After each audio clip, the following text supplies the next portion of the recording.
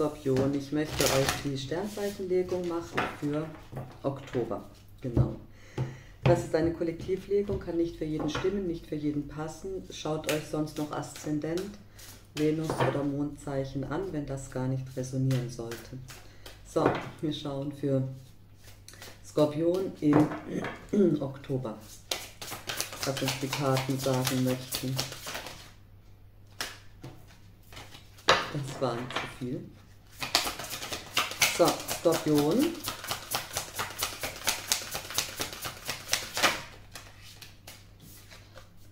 Das Vertrauen. Die Segnungen.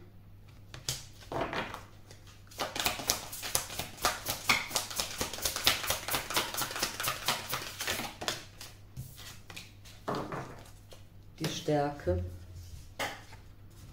zusammen mit Spirit Guide. Du darfst vertrauen, du darfst darauf vertrauen, dass die Segnungen in dein Leben kommen. Du bist stark, weil du die Unterstützung hast von oben. Und das ist wunderbar. Jetzt schauen wir noch mit einer Naturgeister-Orakelkarte, was die uns noch sagen möchten.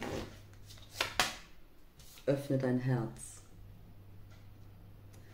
Und vielleicht ist das ein Thema, mit dem du im Moment Probleme hast, aber du sollst wirklich vertrauen, dass dir nichts passieren kann, weil du bist stark und du bist beschützt von oben, also darfst du dir auch erlauben, dein Herz zu öffnen. So, wir schauen da tiefer mit den Tarotkarten rein, auf die Orakelkarten. Und ich nehme zuerst das Vertrauen, was die Tarotkarten dazu sagen. Du darfst vertrauen, dass diese Samen, die du gesät hast, wachsen werden und etwas Schönes erwächst. Du darfst darauf vertrauen, dass du siegen wirst für dein Vorhaben. Und auch wenn du im Rückzug bist und alles von oben ein bisschen anschaust, du hast das Licht bei dir und du weißt, worauf du vertrauen darfst.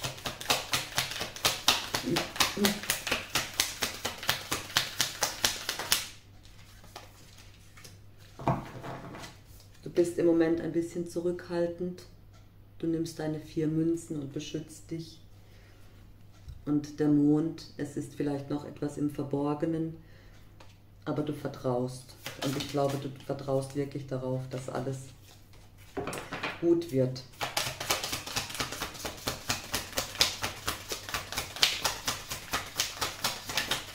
Der Mond auch für das Unterbewusstsein. Ich glaube, im Unterbewusstsein ist ja ganz klar, dass du vertrauen kannst und dass du siegen wirst. Das sind zu viele. Gut. Zwei der Stäbe. Du nimmst diese Position ein, dass du von oben alles anschaust und wirklich mal abwartest und schaust, was passiert.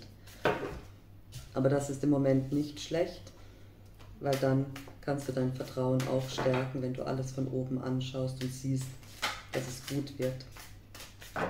Gut, wir schauen auf die Segnungen.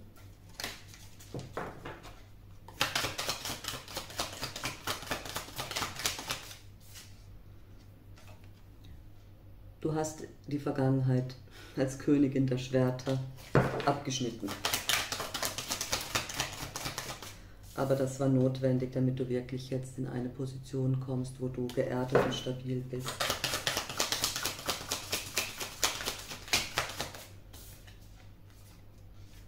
Und dein gebrochenes Herz aus der Vergangenheit möchte jetzt wirklich deiner Zufriedenheit weichen.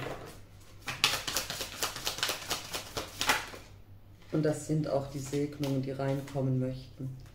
Es ist auf der einen Seite die Balance, dass du dich wieder ausbalancierst, auf der anderen Seite diese Enttäuschung zu überwinden und sehr viel Klarheit und Erkenntnisse zu bekommen. So, wir schauen auf die Stärke und die Spirit Guides. Die Führung von oben. Der Skorpionmann, König der Kelche. Du bist bei dir. Du kommst zur Ruhe, du fährst in ruhigere Gewässer, lässt die Sorgen los und bist in deinem Nest und bist geborgen und dein gebrochenes Herz heilt neben dir. Vielleicht braucht es noch ein bisschen Zeit, diese Heilung, aber diese Zeit nimmst du dir. Du bist der Eremit, du schaust dir die Sachen von oben an und im Moment schützt du dich noch, dein Herz, aber du bist stark und du wirst es wieder öffnen können. Zehn der Schwerter, du bist gerade ein bisschen ausgelaugt und abgeschlagen, aber das wird gehen.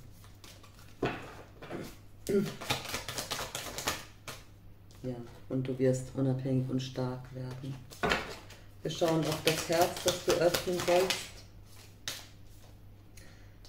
Ja, diese Last, die du im Moment hast, wo du dich nicht öffnen kannst, es wird gehen, weil es kommen Verbindungen rein, Seelenpartnerschaften vielleicht, Seelenverwandte, jemand, mit dem du dich sehr verbunden fühlst. Und es wird wachsen. Es wird wachsen vom Kind zu einem erwachsenen Menschen. Und das ist das Rad des Schicksals. Also es kommt sowieso und du musst dir keine Sorgen machen. Gut, wir nehmen noch eine Krafttierkarte.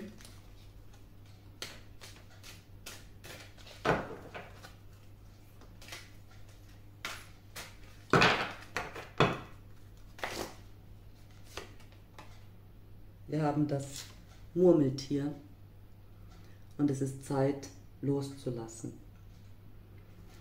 Ja, lass los, vertraue, vertraue darauf, dass alles seine Richtigkeit hat, vertraue darauf, dass die Segnungen in dein Leben kommen möchten und vertraue darauf, dass du geschützt bist, geführt bist und stark bist. Gut, wir nehmen noch eine andere Botschaft dazu.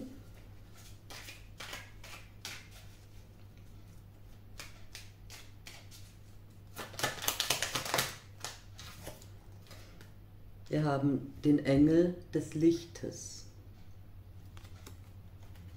Lass dich vom Licht der Sonne inspirieren. Sie schenkt dir Kraft und Energie. Bitte deinen Engel, dich mit mehr Licht zu erfüllen, damit du Strahlen verbreiten und die Wärme mit anderen teilen kannst. Lass dein inneres Licht immer intensiver werden, so wirst du auch deine Ziele klarer erkennen können. Die Botschaft deines Engels, bist du im Licht, wird dir die engelshafte Erleuchtung gewiss sein.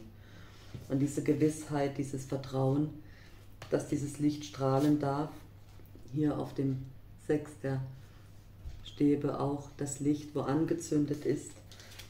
Du hast das Licht bei dir, auch wenn du im Rückzug bist. Und auch wenn du das Gefühl hast hier mit dem Mond, dass du im Moment irgendwo hin sinkst und es ist alles nicht strahlend, trotzdem ist das Licht da.